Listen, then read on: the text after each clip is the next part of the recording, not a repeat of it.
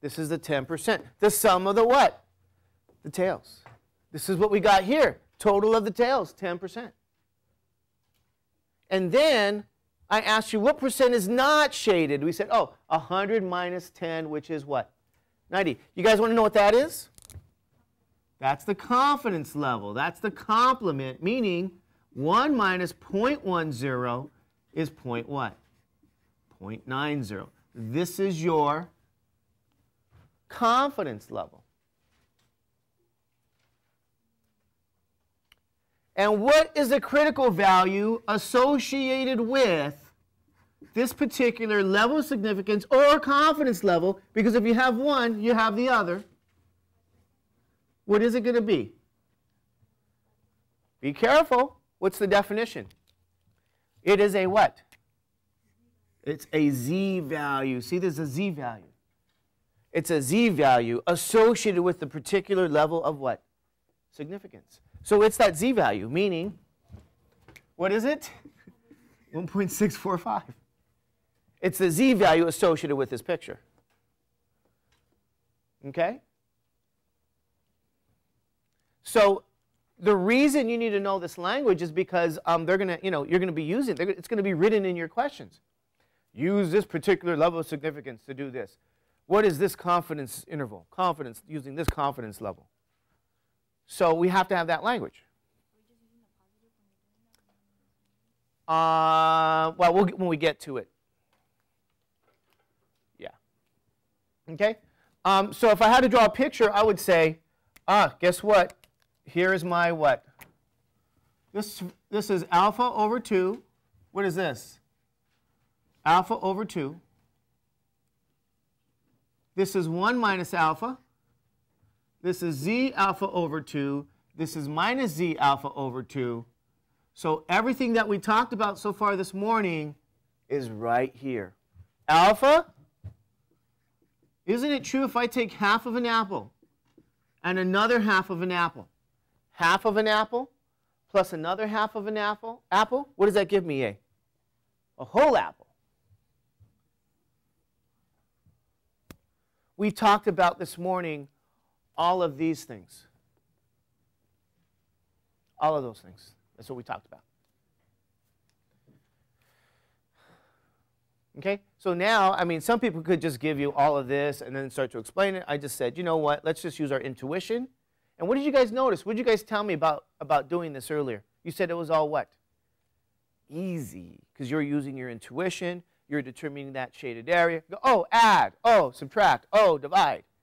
Yeah, all of those things are what you do to answer these questions. So now that you know what those values are, um, the idea is that you use them. Okay, so, so let's just summarize here. Let's write a summary. I want to write a summary here. Um, I can give you alpha. I can give you 1 minus alpha. And I can give you z alpha over 2. I'm asking you guys this question.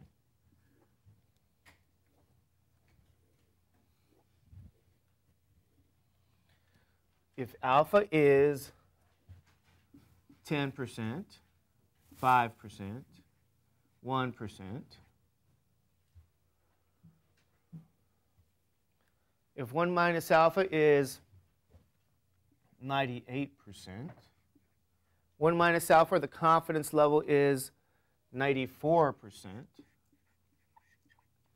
I'll say, what about if it's 96%?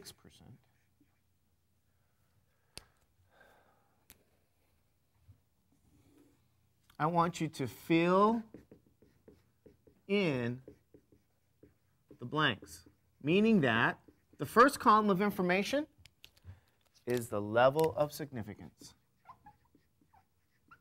What's the second column? Confidence what?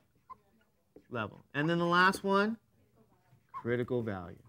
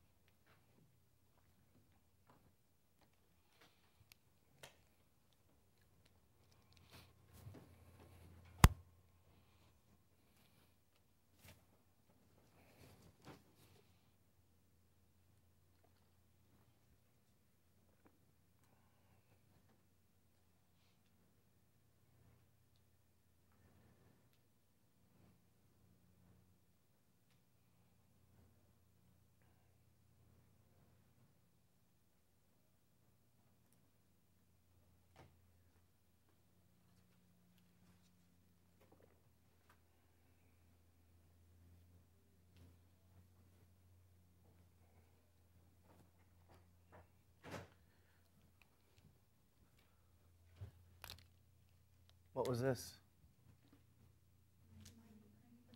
How do you guys know? Well, I think we did it all, didn't we?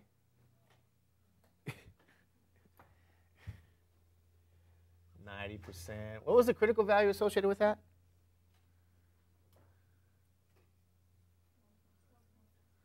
One point what? Six four five. Okay. What's the next one? Ninety-five percent. What's the z-value? How do we what? How can we do this so fast? Because we already did it. What's the uh, confidence level? What's the z-value? 2.575. Oh, what if they gave me a confidence level of 98? How in the world am I going to get the alpha? 2%? How did you know that? If this is 98, alpha is the sum of the tails, half of which is in each. So alpha is 2%. Divide by 2 and you get what? Or no, the alpha is 2%. What's the critical value associated with this alpha? 2.33. And how, again, how do we know? Because we did it. If the confidence level is 94%, what's alpha? Okay. What's the critical value?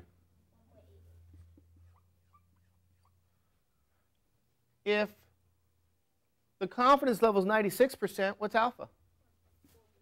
4%. What's the critical value? Uh-oh, how do we do that? How do we do that? You guys want to tell me how you do that? Isn't that your picture? What are we saying? We're saying what? That this is 96%. Isn't that right?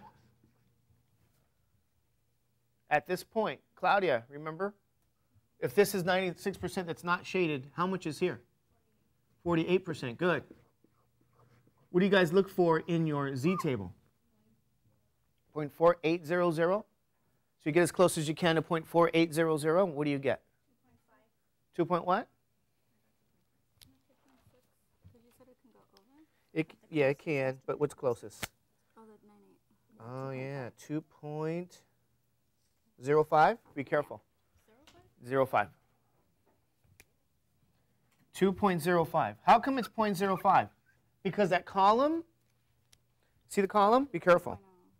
It all has a zero in front. You're fine tuning. Okay? Be careful. So, you guys okay with this? All right, here we go. This is all the information that we're going to use, sort of, for the remainder of the course. So, I wanted to go through it, talk about it. We have. Now, you guys have to use it. But here's the thing if you're not going to practice it, it isn't going to happen. And that's okay. You know, we'll just all come back next semester. It's all right.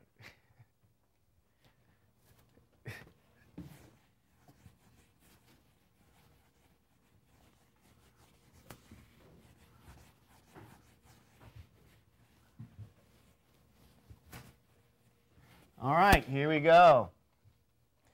You guys ready? This is the deal. Um, we're going to talk about estimation. We're going to estimate a proportion, okay? And in fact, in general, we're going to estimate, we, we actually estimate what's called population parameters. And the parameters that exist in statistics, when we talk about a population parameter, we're talking about a proportion. We're talking about a mean, mu, a variance, a standard deviation. These are all your population parameters. Now, you may sit there and say, well, what in the world is that? Well, if you take a population, if you want to describe something about that population, the only way we can do that is to really describe it in terms of these parameters. Percent. What percent of students wear glasses? What percent of students are female? What percent of students smoke? What percent of students smoke, are female, and wear glasses? Okay, so if we're going to describe a population, and it doesn't have to be students, it could be people living in LA, it could be people living in California, the United States, any, any, any population that you define. Population is just a set of things, okay? So we can describe that set with a, with a proportion. We can even take the mean. What's the average age of a student? What's the average age of a female student? What's the average age of a female student who smokes? What's the variance? What's the what? Standard deviation. Okay? So we can describe a population via these parameters. The only problem is a population can be huge. And what happens is that it can be very um, expensive Could be very expensive to do and time consuming, meaning that if you had to pay somebody to gather information and to summarize the information about a particular population, if you had to go do that, that's going to take some time. You got to pay them, so that's going to be what? Expensive. Remember, a population can be huge. So instead of doing it for the population, what can be done is you take what's known as a what? Sample. And the sample, excuse me, and the sample has to be random. Okay? So fine, if we're going to describe the population by taking a sample, this is a subset of the original set, okay? So if we said students, maybe we take, you know, Mr. Judge's class.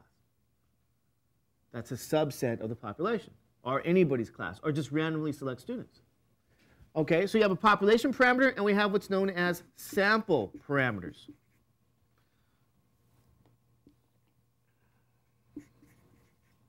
Our parameter is based on the sample.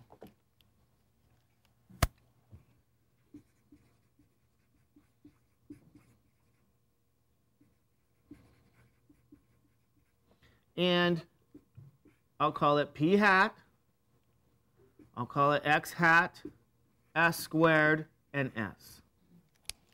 What do you think p hat is? Well, I'll give you a hint. What do you think x hat is? This was what? The sample mean. Good. What is s squared? Sample what? Variance. Good. What is S? Sample standard deviation. What's p hat? Sample proportion. Exactly. Okay, so this is also known as the true proportion. Okay, this is also known as the true mean or population mean, the true variance, and the true standard deviation. So what's happening is we're going to take a sample, gather information, and what we're going to do is we're going to estimate a true parameter. Okay, and this is done all the time. This is done all the time. For example,